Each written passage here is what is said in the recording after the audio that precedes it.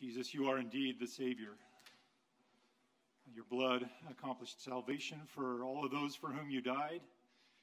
And Jesus, you hold them fast within your grip, faithful until the end. Jesus, our confidence is in you, it is only in you. I pray that as we examine you today around your table, that you would be pleased, you would be honored with our thoughts and our words. And I pray it in Christ's name. Amen.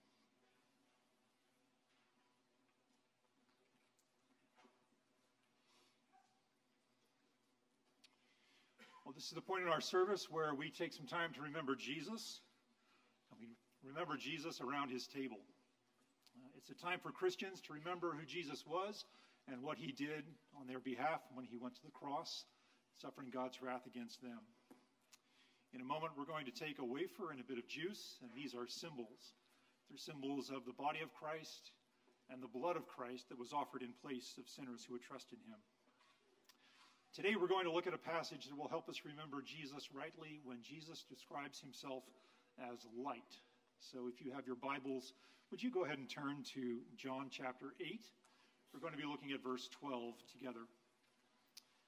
We have some men coming down the aisles. If you don't actually have a Bible with you, just raise your hand and they'll get one to you. And if you don't own a Bible, uh, this is our gift to you so that you can begin reading God's Word for yourself. The setting of our passage starts actually in chapter 7. Jesus has left Galilee and he's come down to Jerusalem to celebrate the Feast of Booths. This occurred on an annual basis. It was a time when people would gather in Jerusalem and they would live in temporary shelters for a week. And this was God's mandate for Israel. He ordained this feast so that they would remember God's faithful, faithfulness to them when they were in the wilderness for 40 years before they entered into the promised land. So Jesus is in Jerusalem during this time, and he is preaching and he is teaching in the temple. And the Pharisees are there, and they are growing increasingly hostile towards Jesus.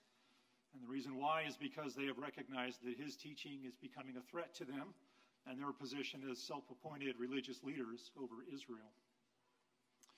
But there are lots of common people there as well. And they have mixed opinions and mixed thoughts about Jesus. Some are saying, well, he's a good man and others are saying he leads people astray.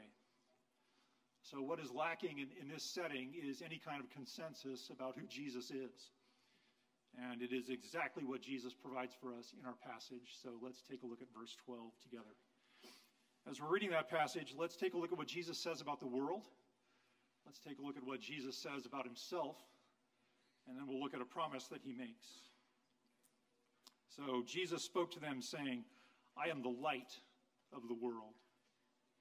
He who follows me will not walk in darkness, but will have the light of life. So Jesus is teaching about light. And we know lots of things about light. Uh, light brings illumination. Light provides what is essential to properly see and understand what is around you and your own situation. And in the absence of light, a person is unable to accurately assess their situation or their circumstances. We know all of those things. But Jesus is here and he is using light as an analogy for spiritual comprehension and understanding. Jesus speaks about the world, and he wants to take a good look at what Jesus says about the world. He says, I am the light of the world. Jesus is telling us here is that the world is blind to spiritual truth. We need to understand the scope of what he means when he says the world. Jesus is speaking comprehensively about mankind. He's not speaking about some people who are blind. He's not speaking about most people who are blind, or just Jews, or just Gentiles, or young people who will eventually figure things out when they get a little older.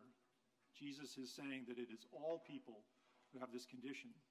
Every single person in their natural born condition is spiritually blind and they lack the ability to comprehend their spiritual condition and spiritual truth. And it's good for us to ponder that for just a second. This is what Jesus is saying. He's saying that every person is born with a spiritual problem.